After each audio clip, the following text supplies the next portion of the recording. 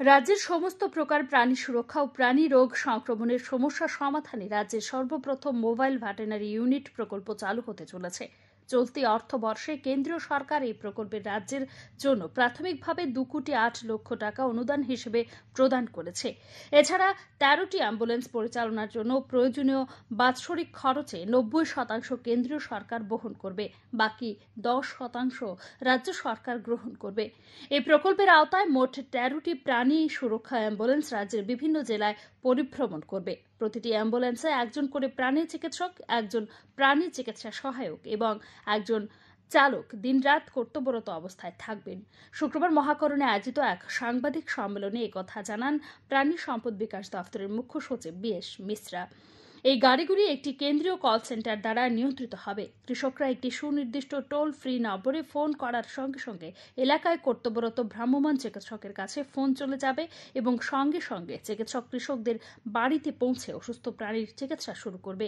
এই প্রকল্প চালু করার মূল উদ্দেশ্য হল সমস্ত প্রকার আধুনিক প্রাণী চিকিৎসা ব্যবস্থা কৃষকের ঘরে ঘরে পৌঁছে দেওয়া। অ্যাম্বুলেন্সের জন্য বাৎসরিক আঠেরো লক্ষ বাহাত্তর হাজার টাকা বরাদ্দ করা হয়েছে।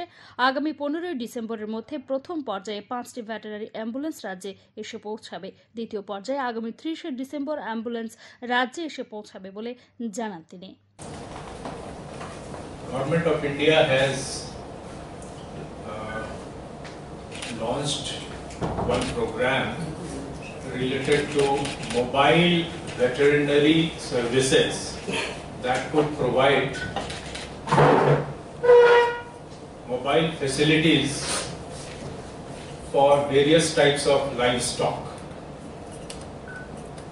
Under this scheme, there is provision of a mobile unit. There will be a mobile van, like a- an ambulance, and it will have all the facilities and manpower.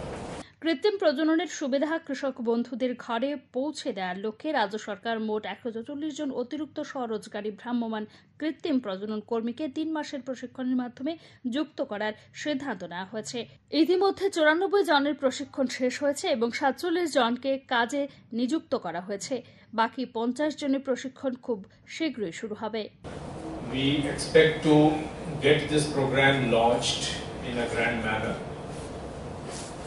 We have uh, invited honorable ministers from Government of India also.